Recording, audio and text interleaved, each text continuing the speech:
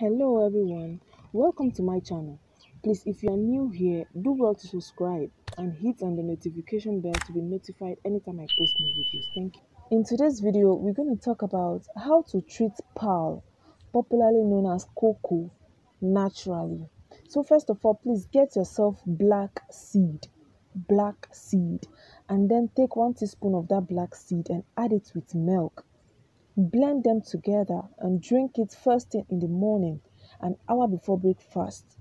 And if you can't blend the black seed and mix with the milk, you can as well just put the black seed in your mouth, chew it, and then drink the milk on it so as to wash it down.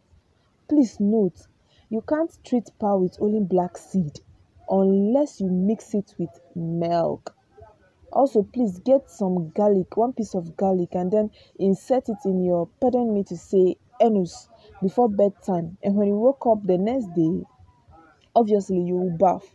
So please repeat the process every day. That is taking the black seed in the morning with the milk and then inserting the garlic in the evening before bedtime.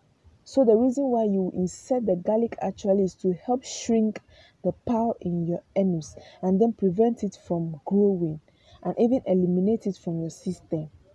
Alright, so please do this for at least two weeks and see the result. Thanks for watching. See you in my next video.